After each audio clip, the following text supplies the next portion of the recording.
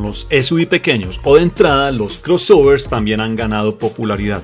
Las dimensiones y capacidades de estos vehículos los han hecho conseguir muchos seguidores.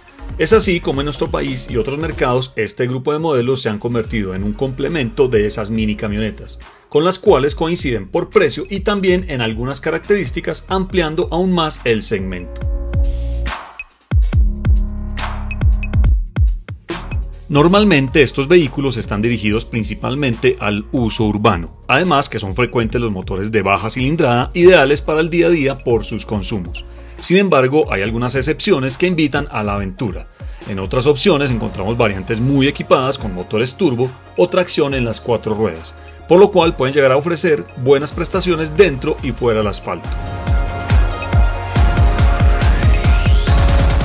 A continuación hablaremos de los mejores crossovers de entrada en orden alfabético que se suman a los mejores SUV de entrada que ya reseñamos en otro video.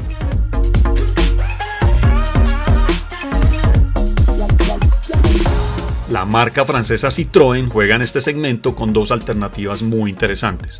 Voy a resaltar el C4 Cactus, un modelo que se actualizó recientemente y que ahora llega importado de Brasil. Su llamativa figura viene acompañada de un motor de 1.6 litros aspirado para la versión Phil que entrega 115 caballos de potencia, o un turbo de 1.6 litros también para versión Shine de 165 caballos de potencia, acoplados a una caja automática de 6 cambios. De serie viene con 6 airbags y control de estabilidad, pero la versión turbo viene con ayudas de manejo avanzadas como la alerta de colisión frontal y el sistema Grip Control.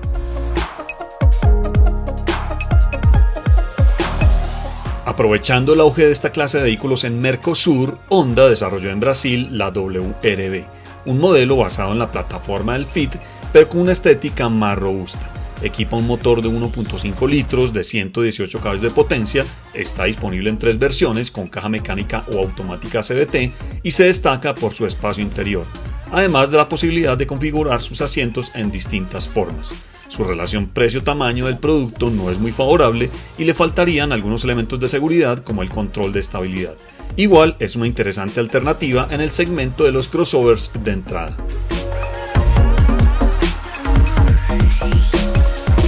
Un referente en el segmento de los pequeños crossovers es la Mazda CX3.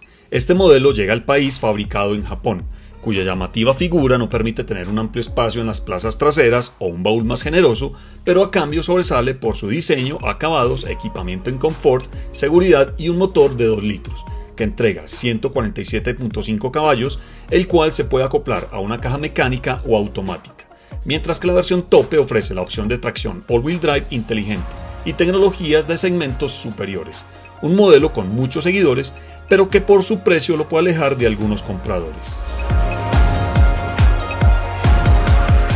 El SUV más vendido en Latinoamérica no podía faltar en este listado. Se trata de la Nissan Kicks, un SUV con pinta de crossover, el cual se destaca por un diseño exterior e interior muy llamativo, incluso con opción de pintura exterior en acabado bitón.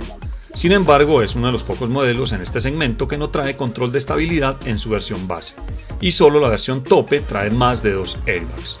Llega importada en México con un motor de 1.6 litros y 110 caballos de potencia con cajas mecánica o CVT, la cual ofrece unos consumos de combustible muy razonables. Su atractivo precio la ubica como una de las más vendidas, incluso ya sobrepasó las 10.000 unidades en Colombia.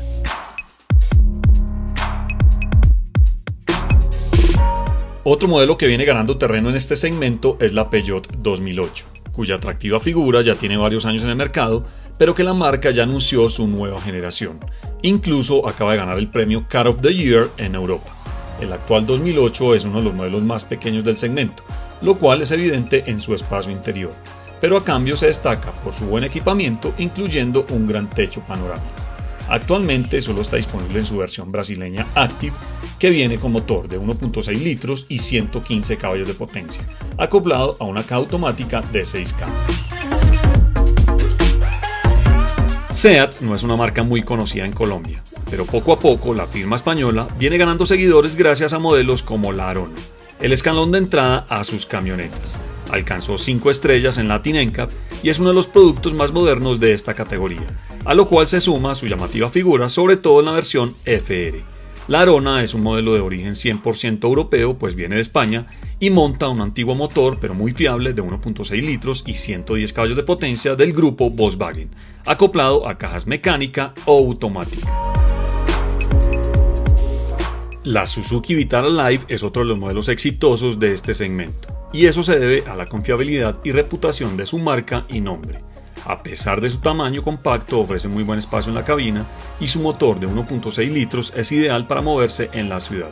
Para quienes tienen más presupuesto, también está disponible la versión Sport con motor turbo de 1.4 litros y tracción all grip, configuración ideal para obtener un muy buen desempeño off-road. Este modelo llega importado de Hungría. Finalmente encontramos a la Volkswagen T-Cross, que apenas llegó el año anterior. Llama la atención por su diseño, confort y seguridad, pues logró una calificación de 5 estrellas en Latin NCAP. Trae de serie 6 airbags y control de estabilidad. Es un modelo de última generación con un interior muy bien aprovechado y llega importada de Brasil, con el mismo motor de 1.6 litros de 110 caballos de potencia que equipan los Volkswagen Polo y Virtus, asociado a una caja mecánica o automática. Los invito a ver el video con la prueba reseña completa en la parte superior del video. Gracias a estos crossovers, algunos fabricantes han suplido la falta de una SUV de entrada en su portafolio, además de ampliar el espectro de alternativas con una nueva línea de productos. Los invito a ver la selección de los mejores SUV de entrada en el link que encontrarán en la parte superior de este video.